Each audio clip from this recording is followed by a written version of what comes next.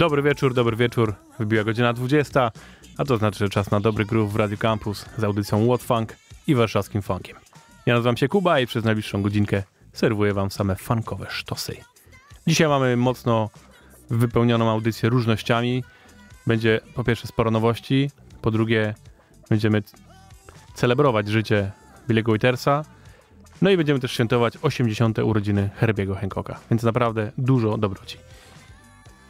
Jest też sporo rzeczy, które się nie zmieściły w tę godzinę, ale jeszcze mamy na szczęście kolejne audycje przez najbliższe nieokreślone ilość tygodni, więc na wszystko przyjdzie pora. Ten kawałek, który teraz słyszycie w tle, którym zaczęliśmy, jest od francuskiego produce- producenta Axhun i są to jego reworki, które możecie znaleźć na Bandcampie i które są za darmo do ściągnięcia. A teraz kolejna nowość i kolejna zapowiedź nadchodzącej płyty od Lers. Płyta będzie nazywać się Resonate i już mamy trzy utwory w sumie ją zapowiadające. Ten nowy nazywa się House of Led. Myślę, że idealnie nas prowadzi w piątkowy klimat.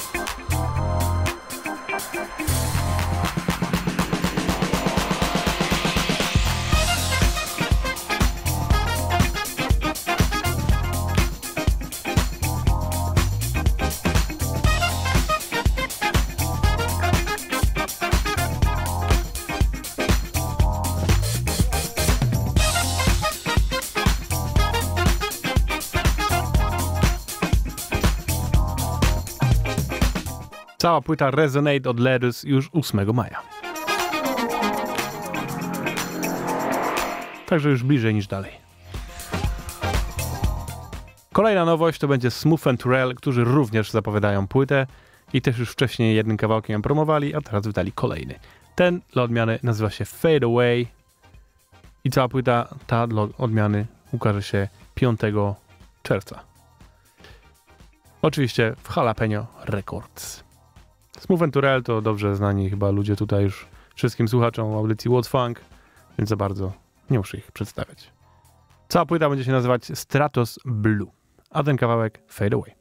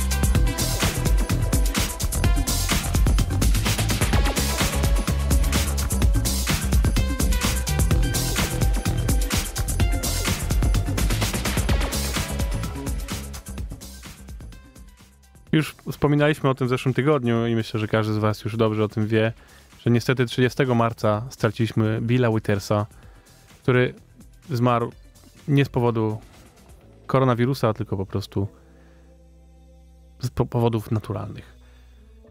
Bill Withers jest taką postacią, o której chyba, nie chyba, na pewno można powiedzieć, że każdy go kochał. Po prostu to jest jeden z tych muzyków, który każdy, kto miał styczność z jego twórczością, natychmiast się zakochiwał i na całym świecie, jak tylko poszła informacja o tym, że Bill zmarł, to wszyscy artyści i nie tylko artyści i e, politycy, no każdy w zasadzie wyrażał swój podziw i miłość dla muzyki tego człowieka, bo myślę, ilość osób, która po prostu, nie wiem, y, płakała przy jego piosenkach, chociażby przy Ain't No Sunshine When She's Gone, jest w milionach mi, albo w miliardach ludzi na świecie. E, jego muzyka od zawsze była pełna emocji, a jego głos, no zresztą sami usłyszycie zaraz. Wspaniały artysta, e, człowiek, który wydał w swoim życiu niedużo płyt, ponieważ nie do końca był zadowolony z tego, jak wygląda świat show biznesu szeroko pojętego, a on chciał po prostu robić to, co, co lubiał. Chciał grać muzykę, przekazywać to, co miał do przekazania, a jak myślę, że sporo z nas wie, show biznes nie pozwala do końca robić tego, co się chce, tylko to, co oni uważają, że jest dobre i co się dobrze sprzeda. Ale na szczęście jemu się to udało, przynajmniej na samym początku, bo jego właśnie pierwsza płyta, na której pojawił się hit Ain't No Sunshine, który był jego pierwszym w ogóle singlem, który natychmiast zdobył wszystkie możliwe by, wiecie, playlisty i stał się numerem jeden na całym świecie. Dostał to, za to nagrodę Grammy, za ten konkretny utwór. E, to chyba można mu wierzyć, że ten człowiek wie, co robi. Jego druga płyta, Still Bill, do tej pory jest jednym z największych klasyków wszechświata.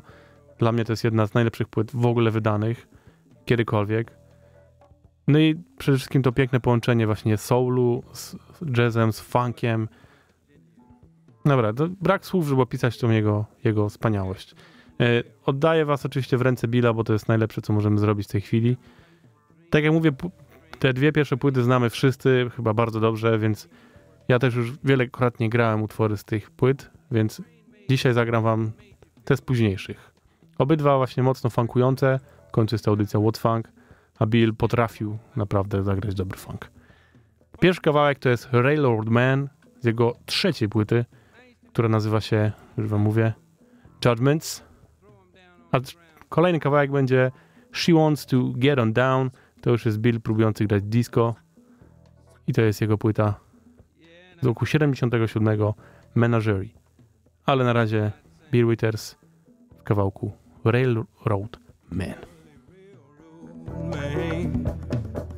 was a railroad man. He was a railroad man till he stepped in front of the railroad train. He rode across the plain, rode on a fruit freight train. Bananas to Savannah, wore bandanas made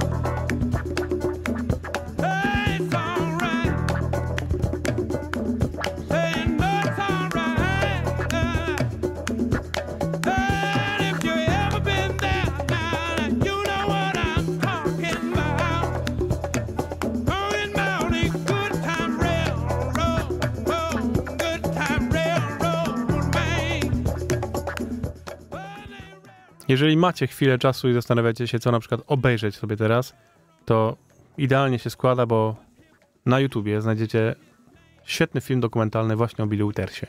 Nazywa się on Still Bill, czyli dokładnie tak jak jego druga płyta i dopiszcie sobie The Story of Bill Withers. Cały film, on trwa raptem godzinę, zrobiony przez BBC przed paru, paru lat. Jest dostępny tam i naprawdę go wam polecam. Poznacie tą postać. No tak jak mówię, no, była to postać nietuzinkowa. Człowiek, który wywodził się po prostu z małej mieścinki, gdzie była kopalnia węgla i tylko dlatego tam były zabudowania. By, był mechanikiem, robił kible, za przeproszeniem, w samolotach, a potem stwierdził nagle, że on by chciał w sumie zagrać. Nigdy się nie uczył, nie próbował, po prostu wziął gitarę do ręki, napisał parę utworów i tak się to wszystko zaczęło. Rewelacja. Wspaniała postać i ten film naprawdę wam ją mocno przybliży. A teraz, tak jak zapowiadałem, She Wants to Get On Down, Bill Withers.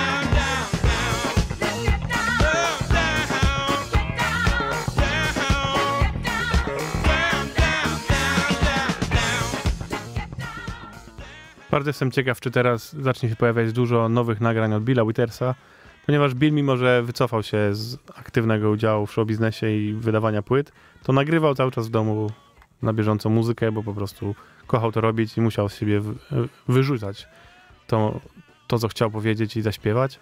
Więc wiem, wiemy, że tej muzyki jest naprawdę dużo. Pytanie, czy jego rodzina zdecyduje się to jakoś wydać w którymś momencie. Znając realia świata, myślę, że tak. Więc zobaczymy. Może będziemy słuchać dużo nowej, fajnej muzyki od Billa Withersa. Dzięki wielkie Bill za wspaniałą muzykę. Wspaniałą, wspaniałą. Ja osobiście przyznam, że bardzo mnie dotknęła jego śmierć. Miałem, miałem w swoim życiu moment, gdzie byłem po prostu kompletnym maniakiem na punkcie jego muzyki. Pościągałem wszystko, co kiedykolwiek nagrał, słuchałem tego w kółko. I jakoś naprawdę tak poczułem, że straciliśmy kogoś bardzo ważnego. Co wielu, wielu ludzi przy jego muzyce dorastało i w ogóle ważne, ważne wydarzenia w ich życiu na pewno przy, były przy jego muzyce. No nic, lecimy dalej, słuchajcie. Niestety cały czas trwa pandemia i siedzimy w domach, ale to nie znaczy, że nie można nic robić. Chłopaki z Ghost Funk Orchestra postanowili nagrać kawałek będąc w domu. Każdy wielkiej orkiestry nagrał swoją część, potem to wszystko zmiksowali i nagrali kawałek Can Get You Own, own Way. Boże, Can Get Out Your Own Way. Boże, za tytuł. Ghost Funk Quarantine Orchestra to się nazywa.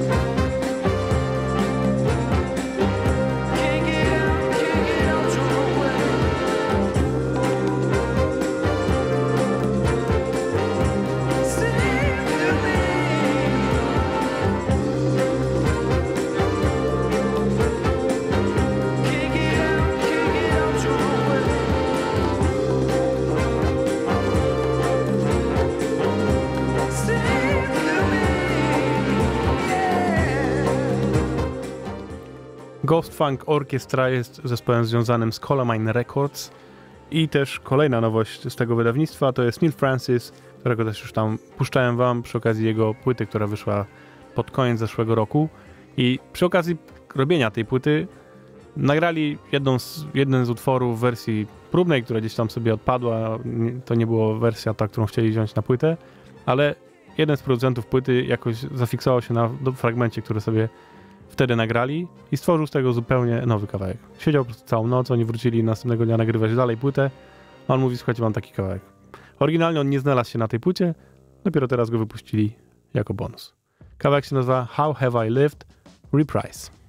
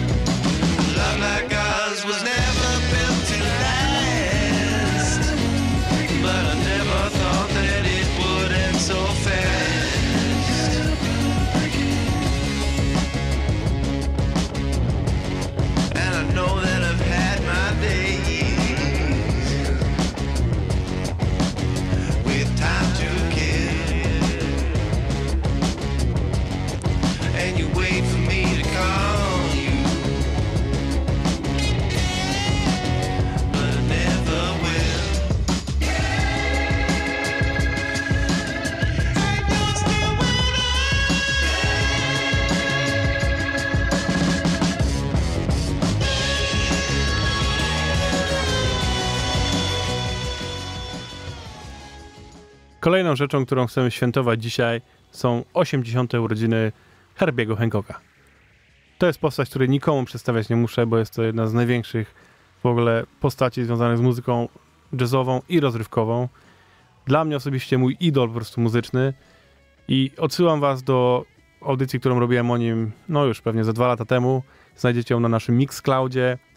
Cała audycja poświęcona Herbiego Hancockowi i jego czasach, kiedy właśnie grał funk i fusion i wszystko, co bujało. A jak on się za to wziął, to głowa mała. Więc dzisiaj z okazji tego wszystkiego zagram wam kawałki, których nie grałem i takie mocne e, rarytasy, których normalnie się nie da znaleźć. W 1973 roku Herbie napisał soundtrack do filmu The Spook Who Sat By The, Who Sat by the Door. E, film niszowy, prawie Black Exploitation. Cały soundtrack nigdy w zasadzie nie został wznowiony w żaden sposób. Wyszedł raz na winylu i to w beznadziejnej jakości, ale muzyka jest rewelacyjna. Posłuchajcie, zagram wam dwa kawałki. Pierwszy to jest main, main theme, a potem tytułowy kawałek The Spook Who Sat By The Door.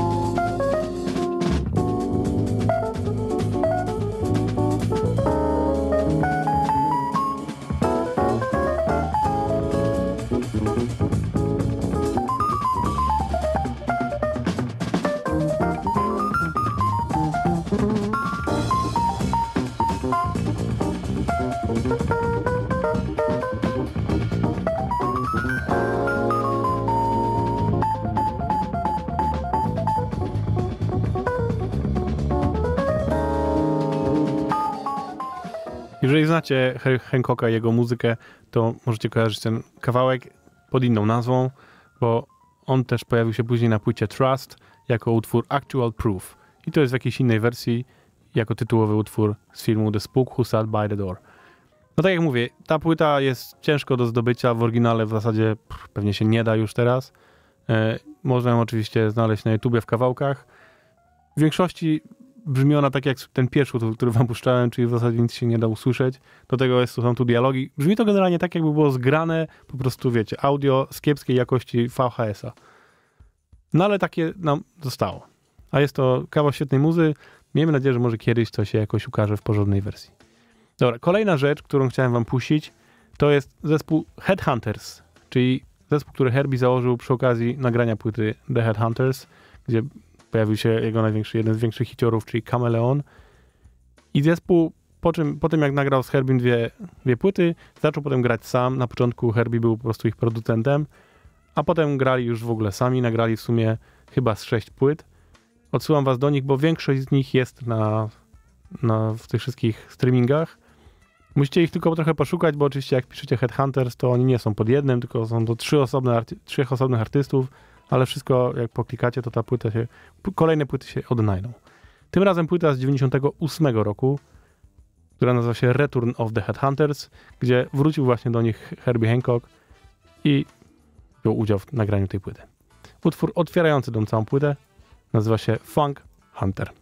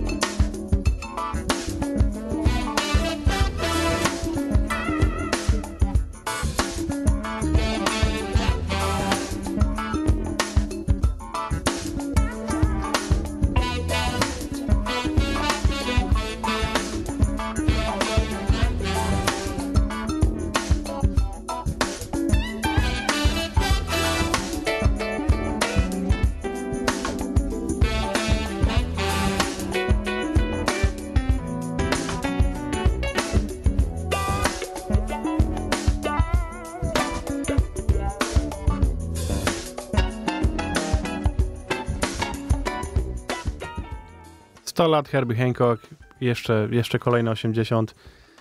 Bardzo liczę na to, że jeszcze do Polski przyjedzie i będę miał jednak okazję z nim porozmawiać, albo przynajmniej zrobić sobie fotkę i mieć na pamiątkę. Tak jak mówię, Herbie jest mi najbliższą osobą muzycznie od samego początku, od jego jazzowych początków, właśnie przez późniejsze funkowe, przez elektrofunkowe, do tego, co robi współcześnie.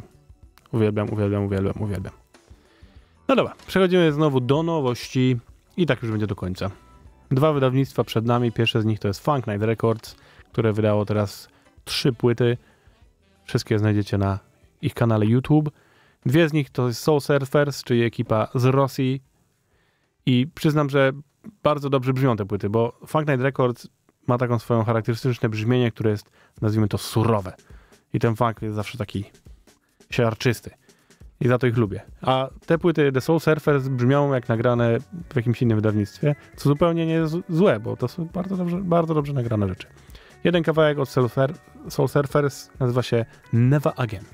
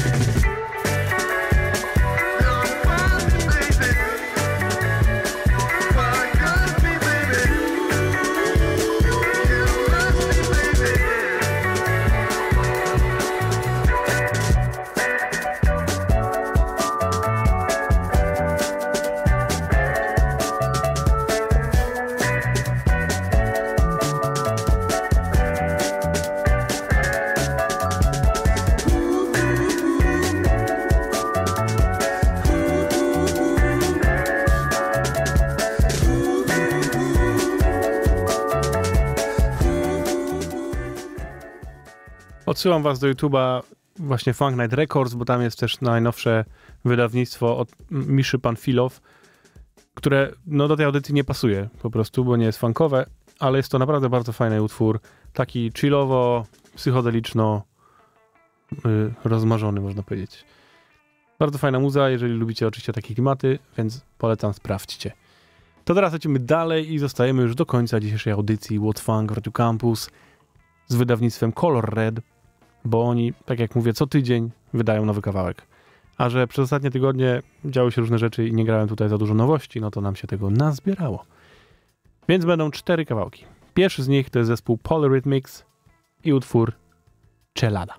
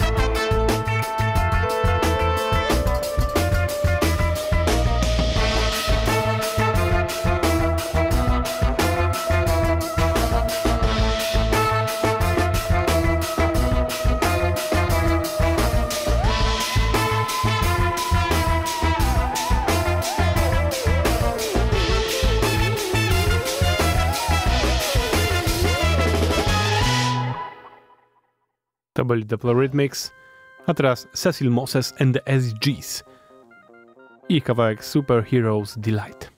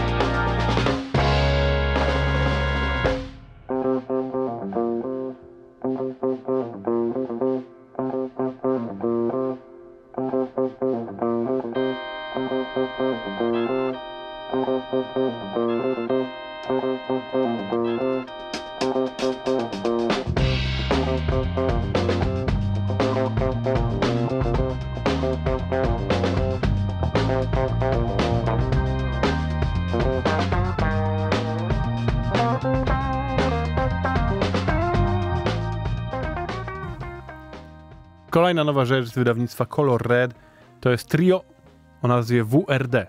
Kryją się po tym trzy ważne postacie. Pierwsza z nich to Robert Walter, który gra na Hammondzie. Druga z nich to gitarzysta Eddie Roberts, czyli założyciel całego wydawnictwa Color Red i gitarzysta zespołu no i patrzcie, oczywiście wypadłem teraz z głowy. The New Master Sounds, ok, już mam to. A trzecia postać to Adam Deitch, czyli perkusista, człowiek, którego już dzisiaj słuchaliśmy, bo on gra w Ledus. To jest człowiek, który ostatnio też nie obija się, bo dopiero co parę dni temu wyszła jego solowa, nie płyta, utwór na razie, która jest bardziej w klimatach hip-hopowych, a jeszcze na początku, nie, pod koniec zeszłego roku wyszła jego płyta, gdzie zrobił całą jazzową, całą jazzową płytę i która też jest świetna. Adam Ditch. Łatwo, bardzo łatwo e, zapamiętać, a warto tego człowieka obserwować. Ten kawałek nazywa się Judy i to jest WRD Trio.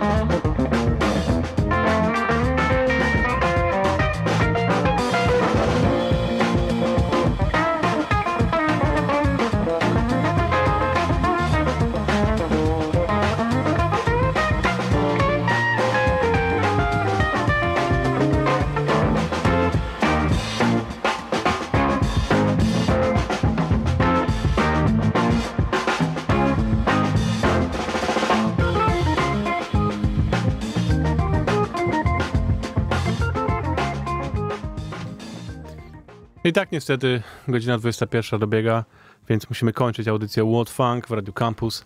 Dziękuję wam bardzo za uwagę i oczywiście zapraszam za tydzień. Będziemy tu jak zwykle o godzinie 20. A jak chcecie więcej, to odsyłam was po pierwsze do naszego Mixclouda, gdzie znajdziecie wszystkie podcasty z poprzednich 200 audycji, bo to jest 201.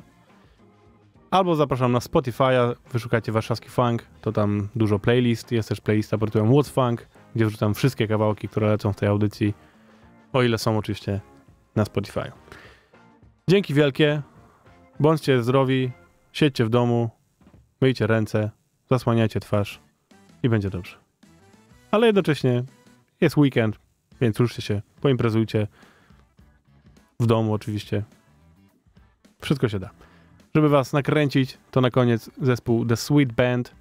The Sweat Band, nie, nie mylić z zespołem, który pochodzi od Parliament Funkadelic, tylko zespół z Minneapolis, który w zeszłym roku wydał śródką płytę, a teraz jeden singiel z tej płyty został wydany przez Color Red. Nazywa się on Jane Fonda. I tym sztosikiem się z wami żegnam. Zapraszam za tydzień. Ja nazywam się Kuba. To był warszawski funk. Yo!